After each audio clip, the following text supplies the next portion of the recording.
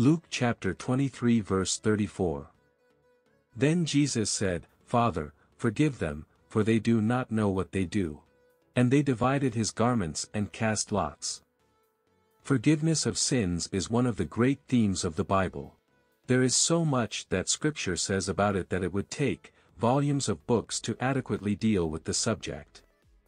It will suffice to say that the blood of Jesus is what provided us with forgiveness of sins. That sacrifice was so great that it outweighed all our sins. It covered all the sins of the world, past, present, and future.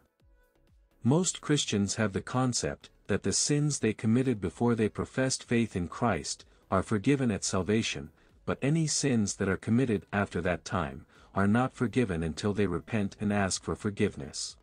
This is not the case.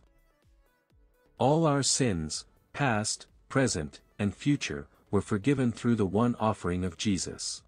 If God can't forgive future sins, then none of us can be saved, because Jesus only died once, nearly 2,000 years ago, before we had committed any sins. All our sins have been forgiven. The forgiveness of our sins is not the ultimate goal of our salvation. It is just a necessary step. The real goal of salvation is relationship with the Father, and sin is a barrier to that relationship. So, it had to be dealt with, and it was, through the blood of our Lord Jesus Christ. But those who stop with the forgiveness of sins, and don't go on into eternal life, are missing the heart of salvation. Our sins have been forgiven so that we may enter into intimacy with the Lord. It is through the riches of God's grace that we have received forgiveness for our sins.